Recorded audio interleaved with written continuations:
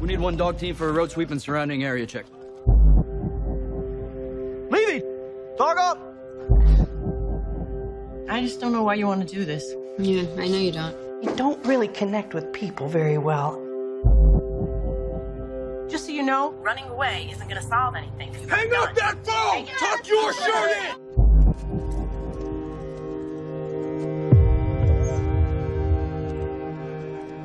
Found something! Good boy. I've been watching this dog all year. He's the most aggressive dog I've ever treated. Does he really need another break? It's not like he hasn't earned it. You're getting a dog. You got this? Think faster. Yeah, I got this. you think I'm afraid of you? Lay down. Rex, lay down. Vehicle approaching! Guns up!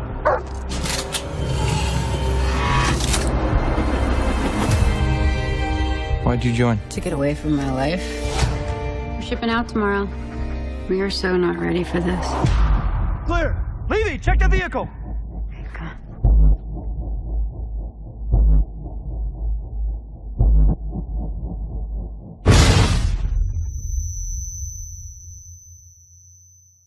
Where's my dog? I need to see him. Oh, no, no, uh, no. Uh, oh, oh.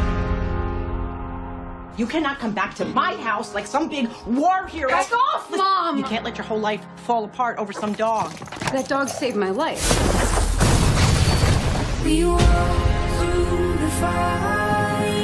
Please just change his classification so that I can adopt him when he gets back. They aren't pets. They're warriors. Senator, can have a moment of your time? His name is Rex. He saved thousands of lives in Iraq. What did you say your name was? Corporal Megan Leavey. All you gotta do is fight. And you know how to fight. You're a Marine.